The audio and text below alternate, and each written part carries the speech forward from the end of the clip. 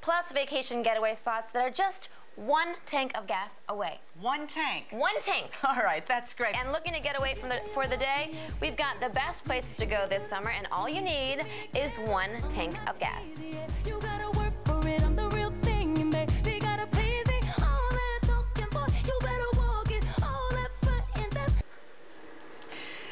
You looking to take a vacation this summer without breaking the bank? Well, Sterling Kelso of Travel and Leisure Magazine is here with five incredible, what we're calling one-tank getaways. Exactly. Love that idea. You fill the car up, put a pile the kids in, or your partner and off you go. Exactly, exactly. These are close by, starting with Montauk, New York.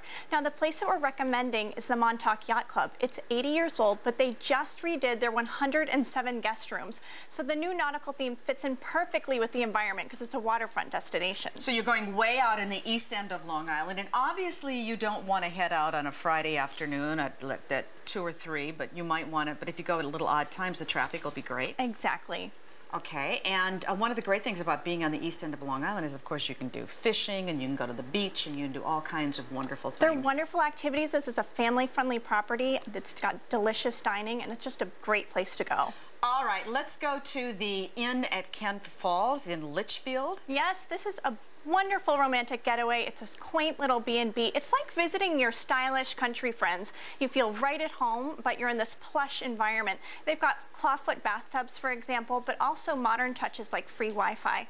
There's a delicious breakfast every morning, homemade granola or brioche French toast. It looks like a little country kind of farm, horse farm place. Exactly, exactly. Really sweet. Okay, Whiteface Lodge in the Adirondacks. Now that might take more than a tank. Yes, I'm saying maybe if you're in a Prius, yes. you can make it in a tank. okay, I've actually been here in the winter mm -hmm. for skiing, but it looks really gorgeous in the summer. I hadn't thought about it as a summer destination. It's a beautiful summer destination. It's right up against the Adirondack State Park. It's right on Lake Placid too. So again, canoeing and fishing, all sorts of great activities. The accommodations there are lovely. They're sort of rustic chic. You've got a built-in kitchenette there, so it's very comfortable. You can relax in what else? Adirondack's chairs. Yeah, and do a little roast a little marshmallow. Mm -hmm. Down on the Jersey Shore now, Atlantic City. Yes, we've got the Borgata Casino and Spa and Hotel there.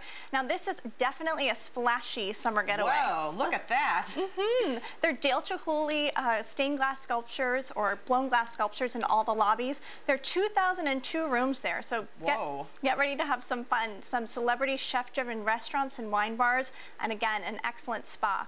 There are wonderful deals there right now. I was looking online right before I came over here, $119 for a room and breakfast. You're kidding. Mm -mm. And Whoa. earn that back on the craps table, too.